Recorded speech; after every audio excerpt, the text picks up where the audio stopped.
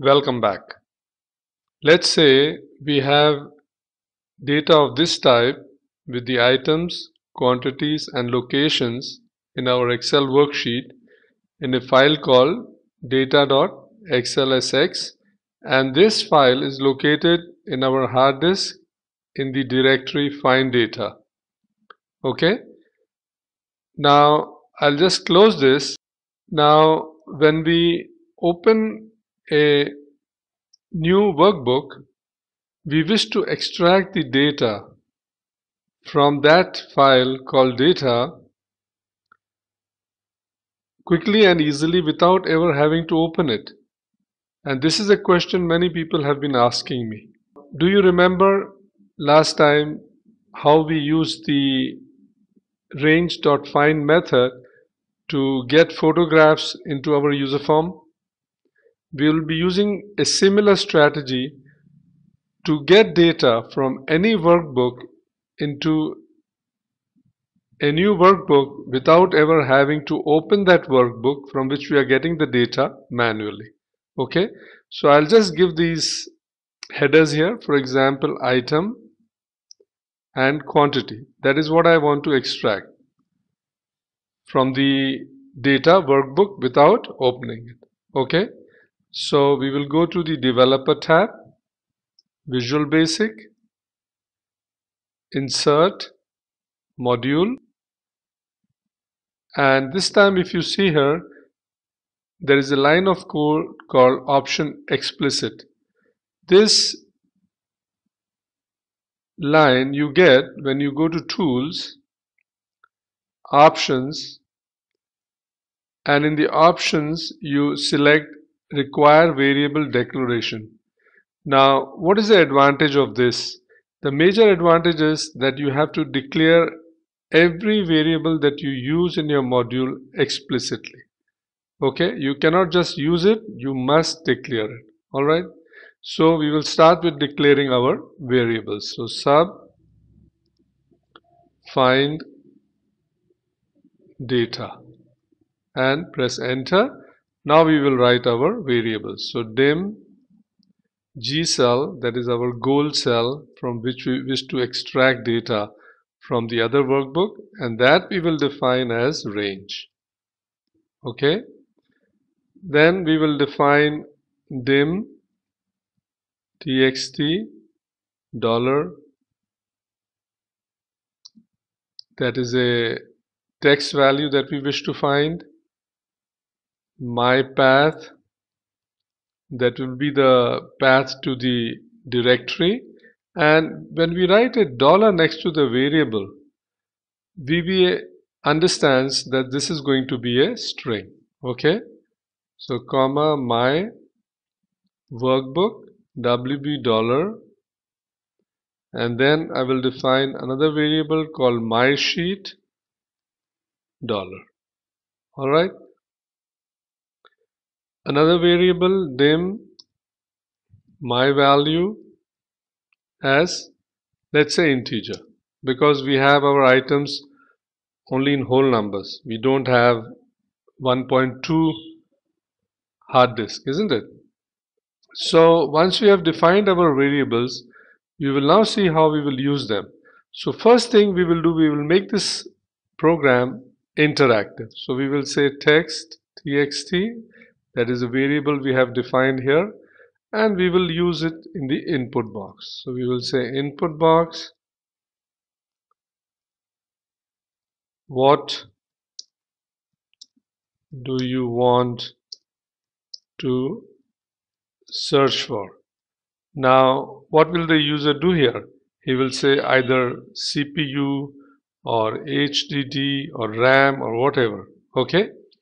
Now once he enters his search query, we have to look for the data. Now the data is in a folder, right? So that is my path and that we have defined as and we have said this is where the folder is located. So it is located here in find data. That's the folder I just showed you a few moments back. Okay. Now, we will define the name of the workbook which is being which is going to be searched for that data and that is my WB my workbook and that also I showed you and that was data dot xlsx okay? Now once I'm in that workbook I have to store the data that I get into the worksheet in which I'm working. Just now I'm working in this worksheet. Find data here. Let me minimize this. I'm working in this worksheet and I want the data to come here. Okay? So then we will write my sheet. That is also defined above. My sheet will become active sheet.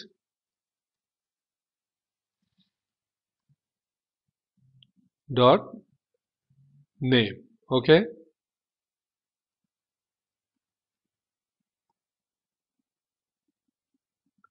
now to make our macro work faster we can now stop the screen updating. That means the screen is being refreshed. So we will say application dot screen updating. There it is press the tab key and that we will set to false okay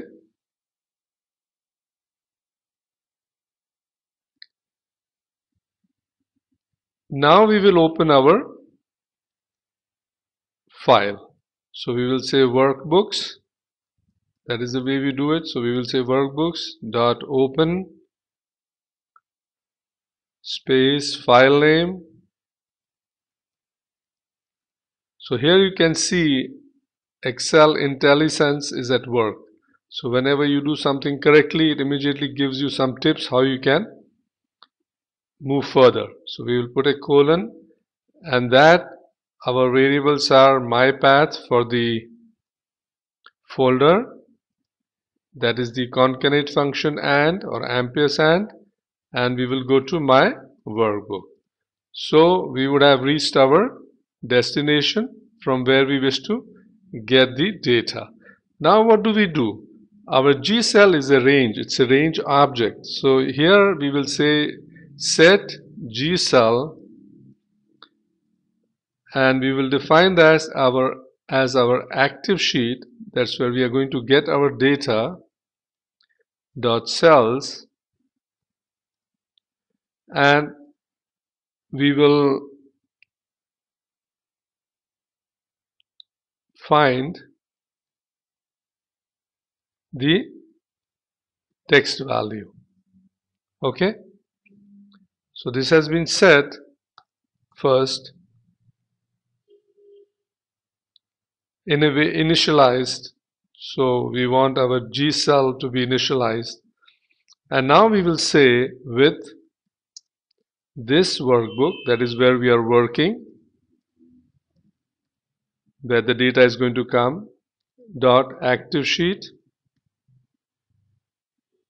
There it is.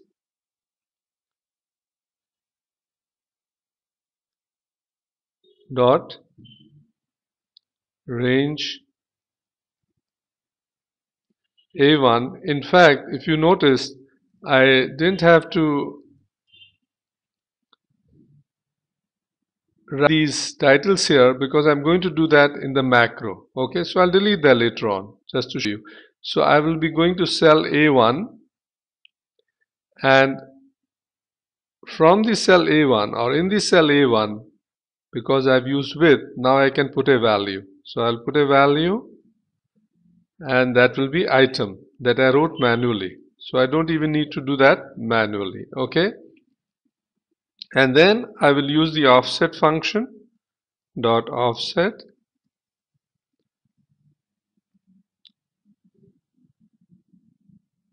and I'm going to remain in the same row go to the next column and that value of that cell will now become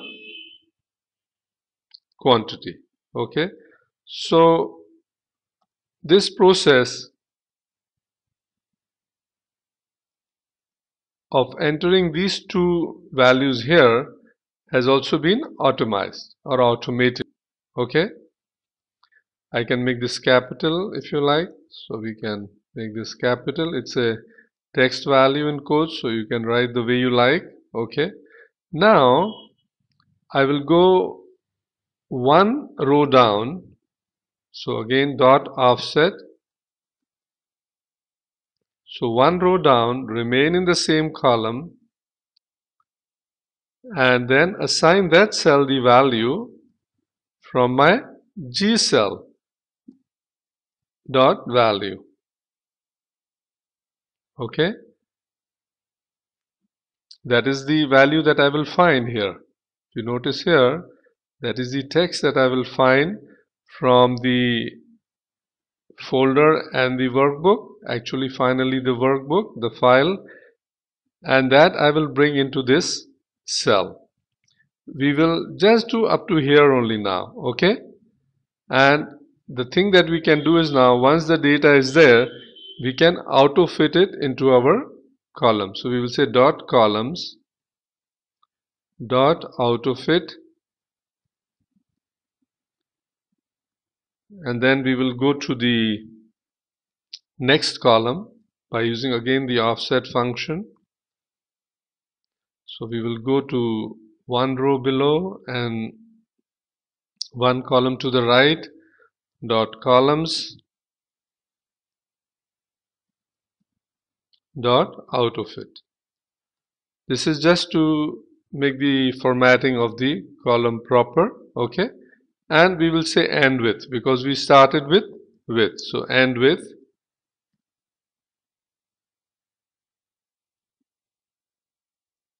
The next step will now be to close the workbook that we have opened from which we are extracting or searching data. Alright, so we will say active workbook dot close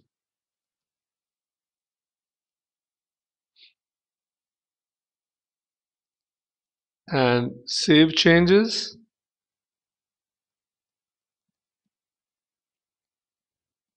That will be set to false.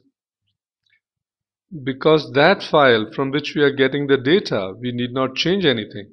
We want to keep that file as it is right? And we will now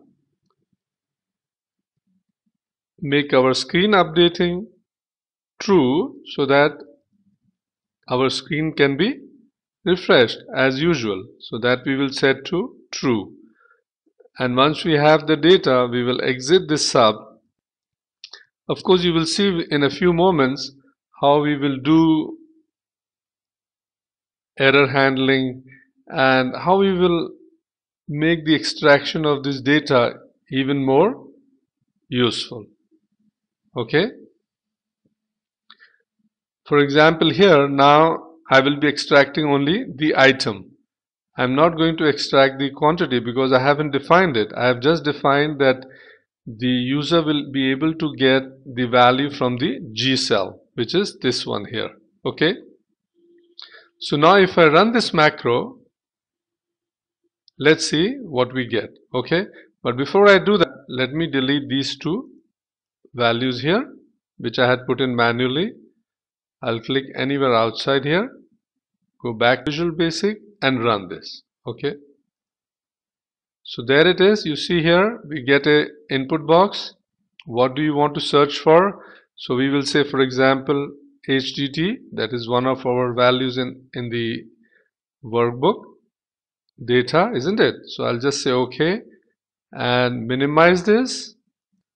And there you see we get item quantity and we have been able to extract HDD from that workbook. Our columns have been auto fitted if you notice. Now we are going to extract the quantity. Alright so we'll go back to so we'll go back to Visual Basic. And here you see we had used the offset function to get our item value which was HDD now we can get the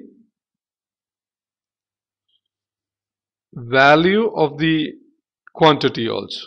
And how do we do that? We will use our variable my value this one here which is as integer.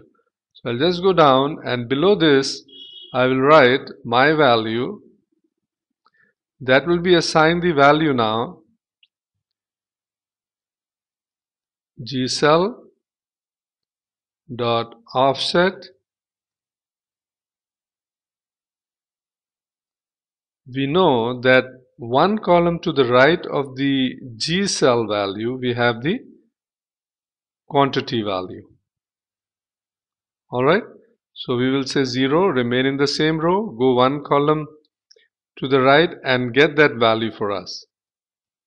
Okay once we have assigned our variable the value from the G cell offset 0 comma 1 we need to now bring this my value into our active worksheet where we are getting the data. And that will be one column next to this value isn't it? Next to the name of the item.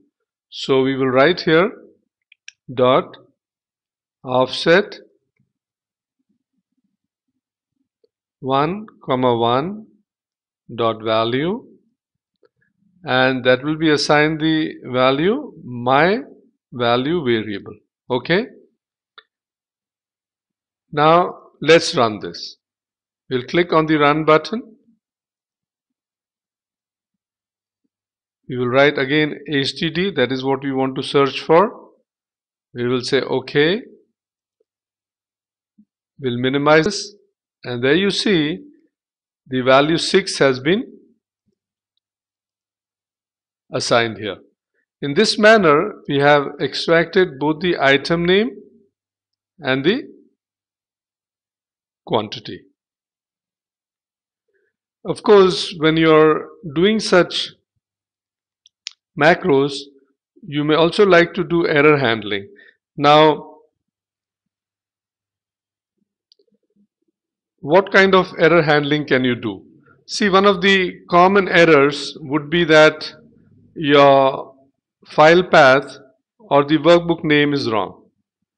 The second thing that happens mostly is that your data that you asked for, for example, HDD, wasn't there. Okay, let me show you an example. Let's say instead of writing HDD, I'm going to run this again. So when you run this, so you you know that you have CPUs in your data but you write something like this okay? And you write okay here. So something happens alright so you can end this. Go here. And you see we we we don't have in our data file CPUs. We only have CPU Intel. Okay, so you got that error. So you will have to make provision for error handling also. I'm going to write that code. You have a look at it. It's pretty easy. Okay.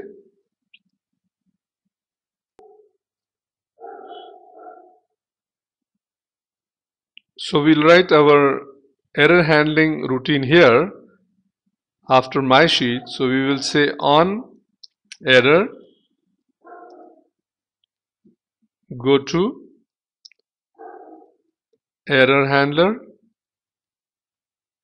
now error handler is a label where our macro will jump and that will be right at the end of the macro okay So we'll place our error handling routine here now when the macro jumps after the exit sub and before the end sub. Okay. So we will write here that label error handler colon. Okay. So this is where that macro will jump if it finds an error. For example, we will use select case. So select case error dot number. This is the syntax okay? We have used it a few times before. So as I said one of the common errors is that the file path or workbook name is wrong. So we will say case. This is again the syntax 1004 and we will write range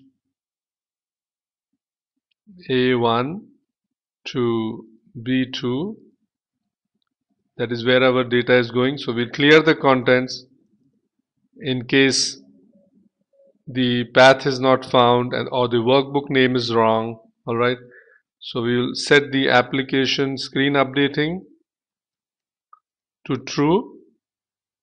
Okay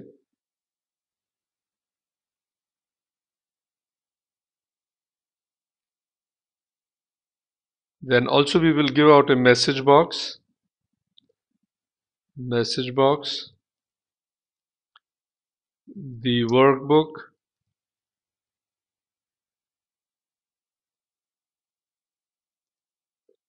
And then we will take our variable my workbook. Ampersand. Could not be found in the path quotes close and then we add a new line by using this line this code here VB CR carriage LF okay so this adds a new line and the wrapping takes place and my path and we'll put a dot at the end okay? So we will then exit the sub in case there is an error. So if we run this again and write a wrong let's say workbook name. So here we have defined the path isn't it here? If you look at the top we have said my path is this okay and my workbook is data. So if I write here data 1 for example by mistake let's say I wrote or, or I write here my data. Before I complete the select case code let me also place the other error that is the error when you know the data in the target workbook is not available alright so I'm just going to place it here. So now you can see there are these two cases where the data will not be found, we will clear the contents again. We will close our workbook. Our appli application screen updating will be set to true and will give out a message box to the user. Exit sub and finally we will write the case else because unless we complete this our macro will always give an error and will tell us to complete the select case okay so we will update our screen application dot screen updating. That will be set to true. Now this is the final case the case else okay? So we will exit sub. And we will now end select. So our code is then complete and right at the bottom we have our end sub. Alright so these two error handling routines take care of the fact that the workbook or the file may not be found and the second one takes care of the fact that the data may not be available inside the file. Okay? And as you see I have just arranged this window so that you can see most of the data. I'll make this data available also on the website so that you can use it. Just copy and paste it and use it in your macro and see how it works and then study it step by step. So if I run this now again I'm asked this question and if you remember I've changed the file name. So if I write sdd we should get an error here.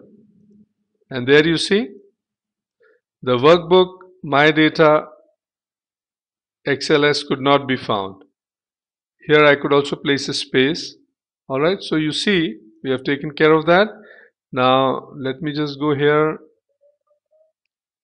The workbook so I had to put a space here so that that would take care of it. Similarly now I'm going to run this again. And I will look for let's say HDDS okay which I don't have in my data file okay so we'll say okay and you see here because the workbook has not been found. I'll say okay and I will change the workbook to the correct one. Instead of my data I will make it data. Okay so this is the correct path and the correct workbook but now I'm going to search for an item that is not available inside the file. So let me run this again. So I will say HDDS I'm kind of saying plural. And if you notice here it clears the contents. It doesn't bring anything here if there, there is an error. See okay? And there you see the value HDDS was not found. Okay? Now what I'm going to do I'm going to run this again and ask for the right item. So HDD okay? Let's minimize this. And there you see you have your correct values. Remember, this need not just be item and quantity. This can be